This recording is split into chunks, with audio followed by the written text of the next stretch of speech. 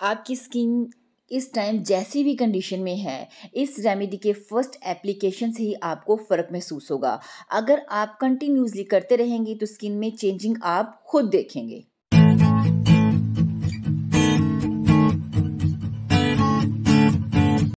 बिस्मिल्लाहिर्रहमानिर्रहीम। अस्सलाम वालेकुम my YouTube family, it's me Debo Khan, beauty tips. Welcome to my channel. तो जनाब, आज मैं आपके साथ एक कमाल की रेमेडी शेयर करने वाली हूँ। इस रेमेडी के यूज़ से आपके चेहरे के तमाम dark spots dark circles acne acne के निशान और फ्रैकल्स इवन के स्किन की तमाम इश्यूज़ से रिलेटेड ये रेमेडी आज आपके साथ शेयर करूँगी।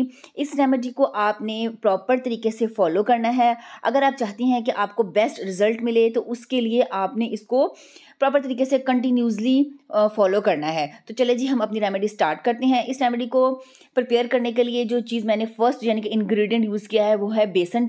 टू इसमें टीस्पून मैंने बेसन का यूज़ किया है। नेक्स्ट मैंने वन टीस्पून जो है इसमें कॉफ़ी का ऐड करना है। अच्छा जी, अब आपने क्या करना है कि इन दोनों इंग्रेडिएंट को अच्छे से मिक्स कर लेना है, क्योंकि कॉफ़ी थोड़ी मोटी है तो आपने उसको स्पून की हेल्प से इतना पीस लेना है कि वो बारीक हो जाए।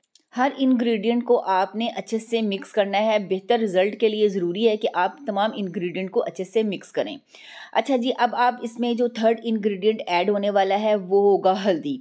अगर आपके पास कस्तूरी हल्दी है तो बहुत ही ज़बरदस्त और कमाल का रिज़ल्ट आएगा।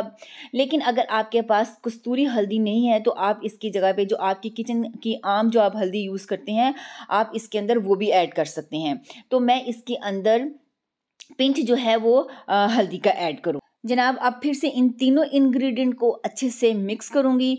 अब इसके अंदर जो नेक्स्ट इंग्रेडिएंट ऐड होने वाला है, वो है राइस वाटर यानी कि आपने एक स्पून राइस लेना है और उसको आपने रात को भिगो देना है।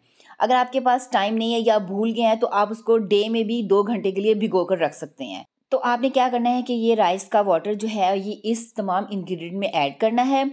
आपने उतना ऐड करना है कि ये एक पेस्ट की फॉर्म में रेडी हो जाए ये मास्क अब मैं इसमें थोड़ा सा पानी और ऐड करूँगी क्योंकि अभी ये बहुत थिक सा है, मुझे एक पेस्ट की फॉर्म में चाहिए।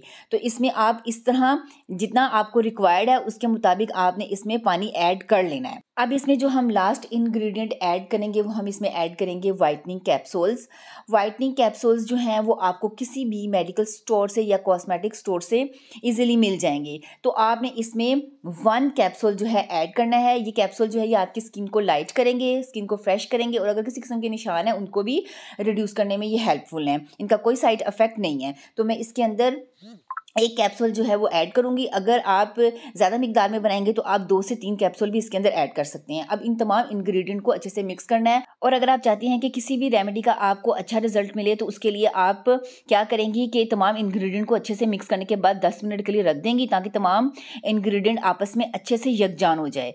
उसके बाद आप इसको अप्लाई करेंगी तो आपको इसके बेहतर रिज़ल्ट मिलें अच्छा जी, अब मैं बताऊँगी कि आपने इसको अप्लाई करना, कैसे करना है। आपने ब्रश की हेल्प से अपने फेस पे, अपनी नेक पे, अपने हैंड पे अप्लाई कर लेना है।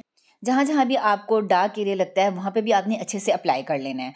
अप्लाई करने के बाद आपने इसको ड्राई होने के लिए छोड़ देना है। तकरीबन 15 टू 20 मिनट के बाद ये ड्राई हो जाएगा। उसके बाद आपने क्या करना है कि इसको ऊपर हल्का सा पानी का स्प्रे करना है। आप रोज़ वाटर का स्प्रे भी कर सकते हैं। और करने के बाद आपने उसको तकरीबन पाँच मिनट तक हल्के हल्के हाथों के साथ मसाज करना है। इस तरह आपने मसाज करने के बाद इसको फिर अगेन से छोड़ देना है पाँच मिनट के लिए। पाँच मिनट के बाद ये फिर दोबारा से ड्राई हो जाएगा तो आपने इसको सादा पानी के साथ वॉश कर लेना है। इसके बाद आपको रिज़ल्ट जो है खुद ही नज़र आएगा, आपको अपनी स्किन फ्रेश दिखेगी।